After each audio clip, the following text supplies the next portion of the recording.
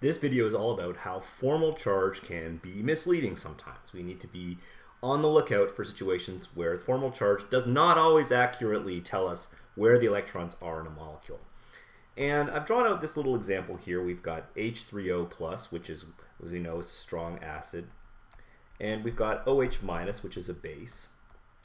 And knowing that, as we do, that opposite charges attract and like charges repel, some students' first instinct, and this is very common, might be to think that the oxygen negative charge is going to be attracted to the positive charge which is on the oxygen, right?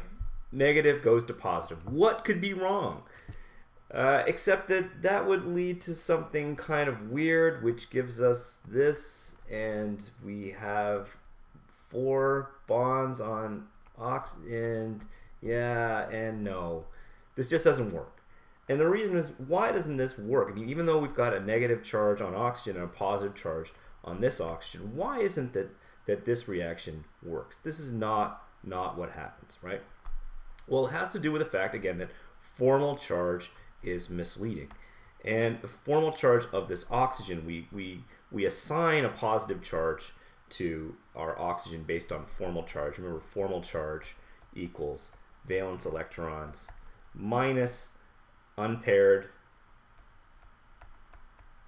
electrons minus one half bonding electrons which in the case of oxygen is 6 minus 2 minus 1 half times 6 equals 6 minus 5 equals plus 1. This doesn't actually tell us where the electrons are in the molecule. Why not? Because if you think about it, remember dipoles? Remember how electronegativity is, is like I said, kind of like greed for electrons in chemistry? Oxygen's electron electronegativity is way over here at 3.44. Hydrogen's electronegativity is way over on the left, 2.2. What this means is that this oxygen is going to be drawing electrons away from the hydrogen. So so oxygen, like we said, is 3.4. Hydrogen is 2.2.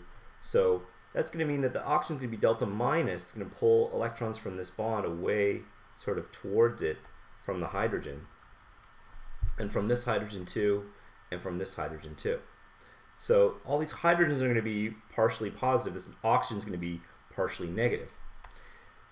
And when you think about it, this actually is a more accurate representation of where the electrons are in the molecule because oxygen is now actually oxygen is actually electron rich.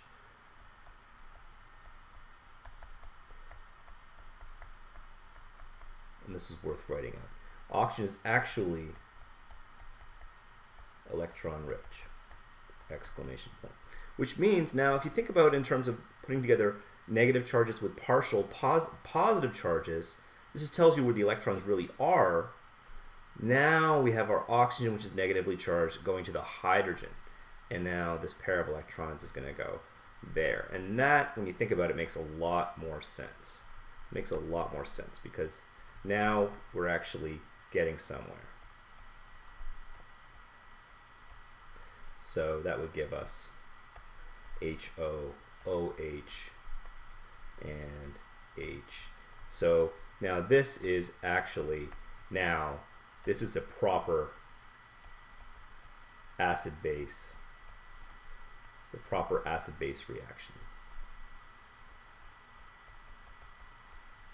Okay. So let's think about another example. This is not the only place in which formal charge can be misleading. Okay. So another example comes up a lot, uh, comes up especially in organic chemistry too. So when you think about, here's another example. We have, let's say we have an, an aldehyde like this.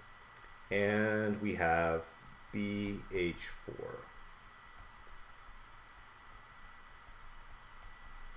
BH4 and this aldehyde. Now, this BH4 has a negative charge, formal charge of minus 1, because boron has three valence electrons and actually has four groups around it, so charge of minus 1. And when you think about where the electrons are on our oxygen, they're there.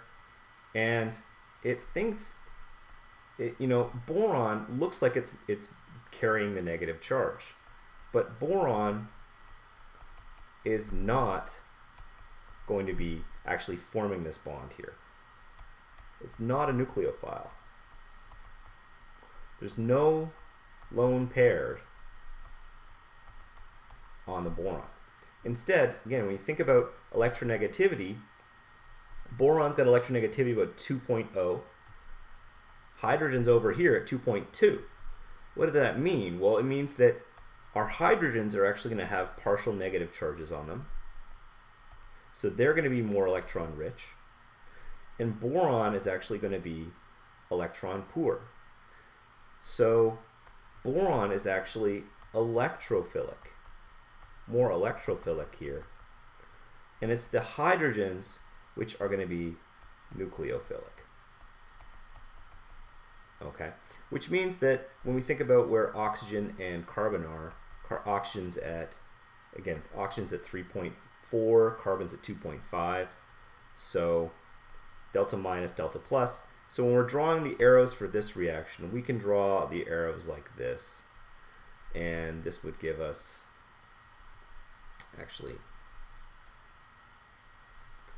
so now we'd have H, B, H, H, and what's going to happen is this pair of electrons is going to form a bond with the carbon and we're going to have hydrogen and oxygen and we're going to have an extra lone pair on oxygen which wasn't there before. Negative charge. Okay so you get the idea. You've gone from having a negatively charged boron to a negatively charged oxygen. The hydrogen is nucleophilic even though we've got a negative charge on our boron. So the, the bottom line if you will the bottom line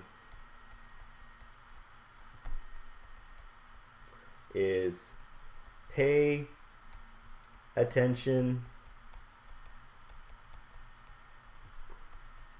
to dipoles more than formal charge. Because it's the dipoles that are going to tell you where the electrons are much more than the, the formal charge will. If you just followed formal charge in this example, you'd think that oxygen was going to accept a pair of electrons, which clearly it doesn't. So just keep this in mind. You're doing going through chemistry, just make make sure that you understand how electronegativity differences, you can find good electronegativity tables everywhere, are going to tell you about the polarity of a bond much more than, than the formal charge of an atom.